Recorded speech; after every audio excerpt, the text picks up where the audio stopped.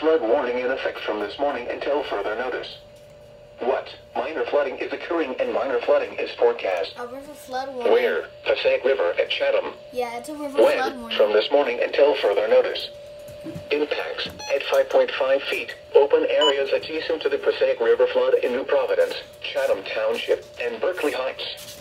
At 6.0 feet, portions of the Shepard Kollock Park in Chatham floods. River Road by Henry Drive is subject to closures.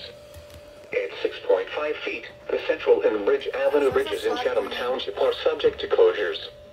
Edgewood Road is closed. Additional details, at 6.15 a.m. Monday the stage was 6.5 feet.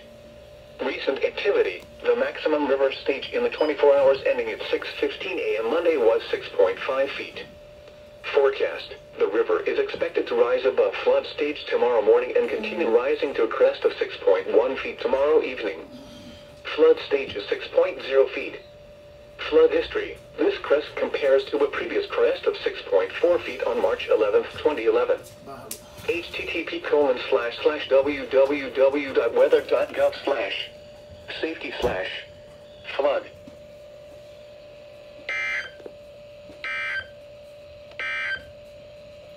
Flood advisory in effect until 9.30 a.m. this morning. What? Flooding caused